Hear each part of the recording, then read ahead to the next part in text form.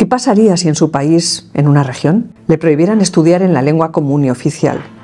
Seguramente usted protestaría ante la administración pública, pero ¿qué haría si ésta le ignorara e incluso le torpedeara por reclamar su derecho a que sus hijos también estudiaran en la lengua oficial de su país? Es probable que usted fuera a la justicia a reclamar sus derechos. ¿Qué pensaría si viera que esa administración incumple las sentencias y además se da carta blanca a acosar y denigrar a los jueces? En la región española de Cataluña ocurre todo esto.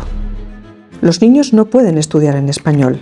Las familias no logran ejercer sus derechos porque el gobierno ultraidentitario no deja ninguna opción, solo permite el monolingüismo catalán.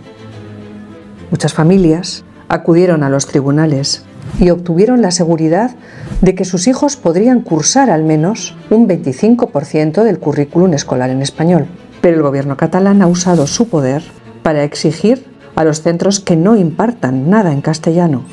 Des del govern, des del Departament d'Educació, seguirem lluitant davant d'aquests atacs dels tribunals amb totes les eines. Se fomenta que incluso en el recreo se prohíba utilizar el español. No hay piedad para niños sordos o del espectro autista que necesitan utilizar su lengua materna.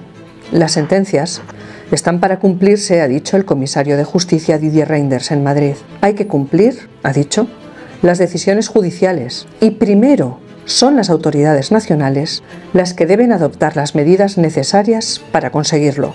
Pero el Gobierno central no actúa, no protege a las familias, no protege la libertad de conciencia. La propia esencia del pluralismo ideológico está en juego. Es sin duda, lo es, uno de los fundamentos de un Estado de Derecho democrático. Pero progresivamente, durante décadas, en Cataluña se han ido imponiendo rasgos de un régimen identitario ultranacionalista, excluyente, y tabús, callando bocas, oídos y ojos, para no ver, para no sentir esa pérdida de libertad.